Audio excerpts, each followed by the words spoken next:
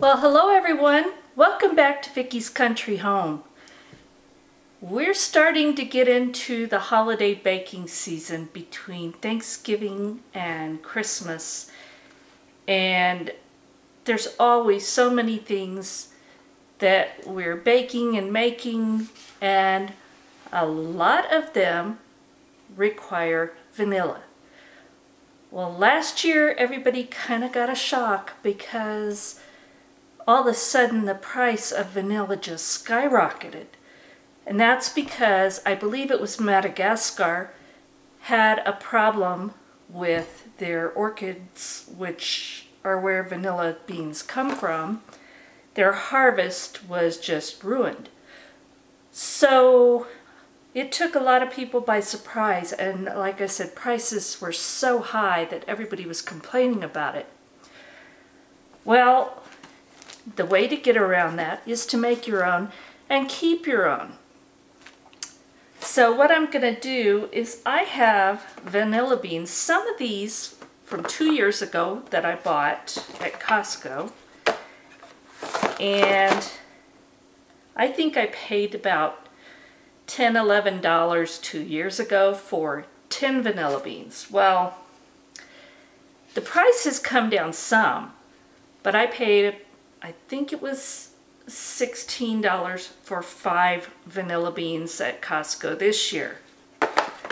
So I have those beans, plus I have these, which are dried and not the highest quality, but I've got quite a few of them. So what I'm going to do is I'm going to make vanilla that you can always refurb, refresh right on in your kitchen. So what I'm going to do is get this set up and I'll show you how I make it and then I'll tell you how to keep it going year after year. So let's get started. This is really simple and it doesn't take any really special kind of equipment. All you need is a jar that you can seal and I have a Weck glass canning jar with clamp on lid.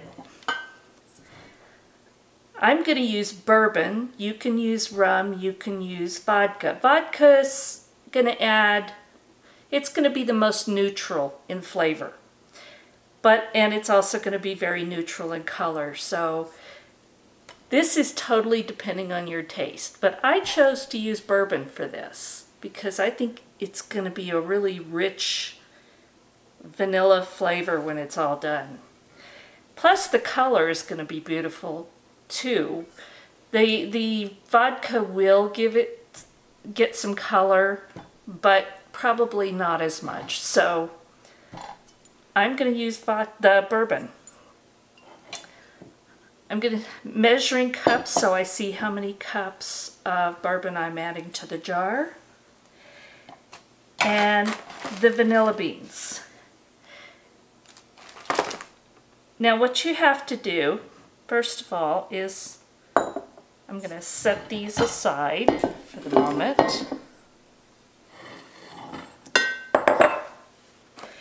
We're going to start cutting open the vanilla beans because we want to get all that wonderful flavor out.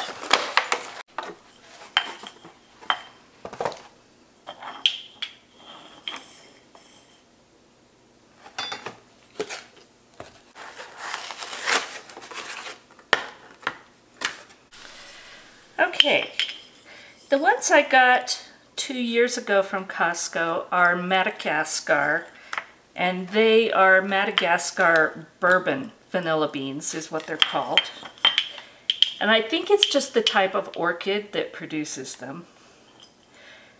The ones I got this year, and I'm going to show you, they're a little bit shorter, and I don't know if you can see that in these glass tubes, they're maybe an inch shorter. And they are Papua New Guinea vanilla beans. And it just says a variety, so don't really know exactly which kind they are. And these are just some, I don't know what kind of vanilla beans that I got when I was part of a soaping co-op. Never bought them to make soap with, but I got a good price on them. So the flavor is going to be really coming from these with these for added emphasis. And they're very hard and dry right now. But after soaking over time in this jar, they're gonna be, they're gonna add to the flavor. So that's what we're doing. So to start out, this one is open. Nice little glass tubes. So your vanilla bean, and this is wonderful. These are two years old and they're still really soft and supple. So now what I'm going to do is just take a paring knife and carefully slit it all the way down because inside are all those wonderful flecks that make vanilla beans. Let me see if I can bring you in a little bit closer. Okay, now I'm going to open up my jar so I can add these right into it.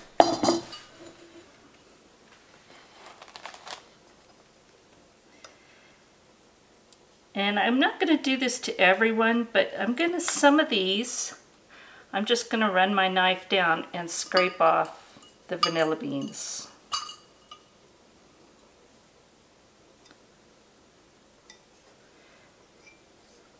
And we're just going to put those in the jar. They're, the flavor is going to be throughout anyway, but these just give you more of those little bits of flavor.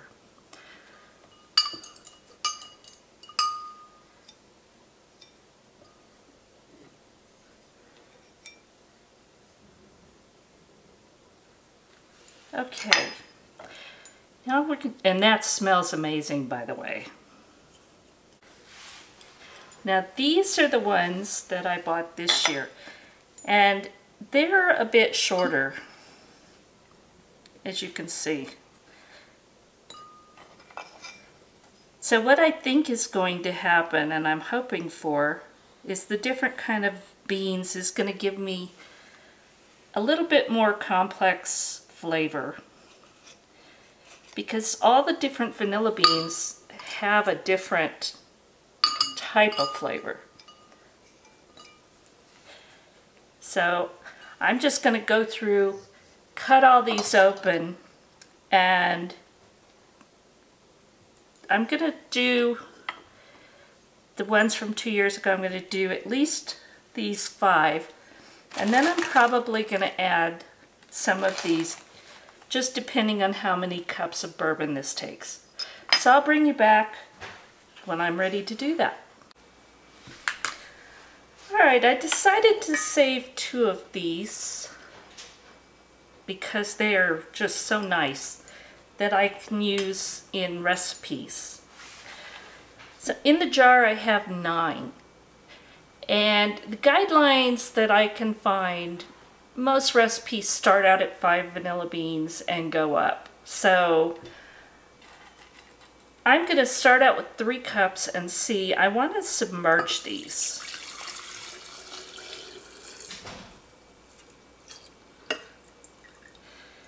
So I think we're going to need at least two more cups.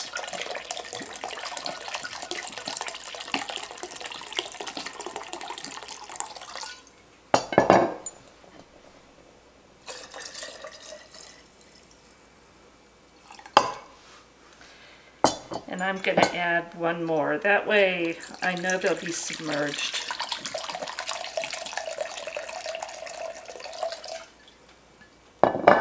And I'll have the rest of that to use in a recipe.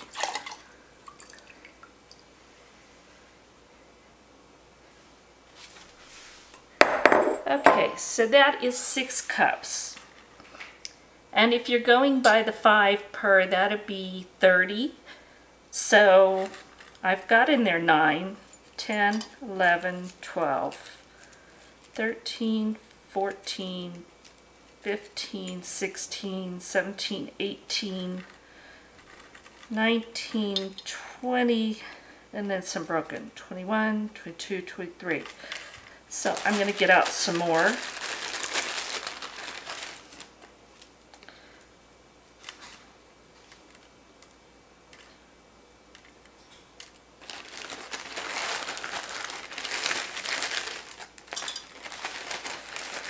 I'm just going to go ahead, since it's close, and use the rest of what's in this bag.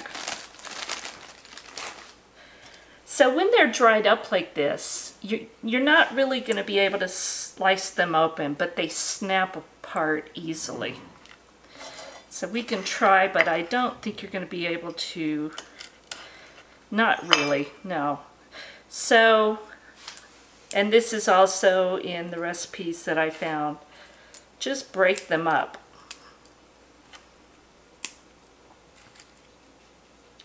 And they say one inch pieces. I'm going to break it however it breaks.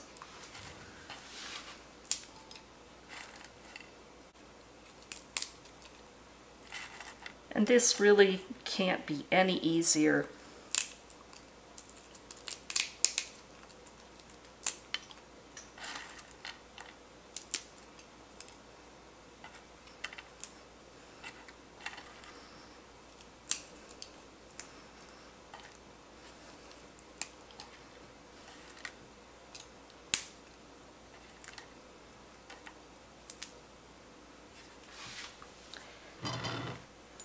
And that's the recipe. Now all you have to do with this is cover this up, seal it up. I'm going to get all these little bits of vanilla beans because those are the inside with all the flavor. All those little specks. Now I'm going to just put the lid on but I am going to just kind of run my finger across it, make sure there's nothing on there.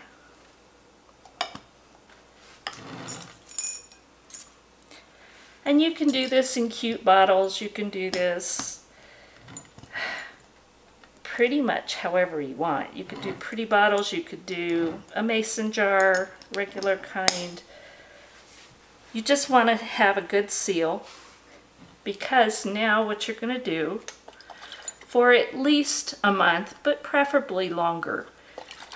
You're just going to shake this oh, maybe once a day, maybe every two days. You just want to totally infuse the bourbon with that vanilla flavor. At that time, you can start using it. You can repackage it for really nice gift, especially to anyone that likes to bake. And if they had to go out and buy vanilla, I'm sure they would appreciate this. And that's all there is to it. Then keep it in a nice dark place and store it until you need it.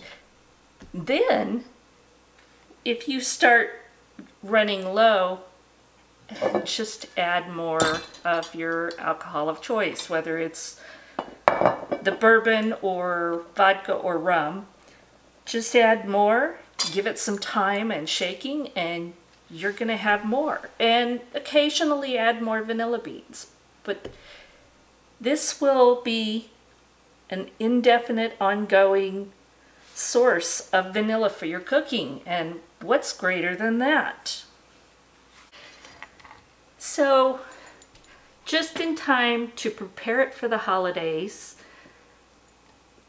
all of the Thanksgiving and Christmas baking that we're all going to be doing, make yourself some vanilla.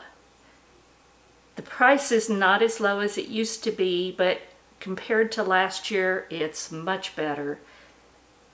And this is going to have more flavor and complexity than anything you buy in the little jars, especially the artificial ones.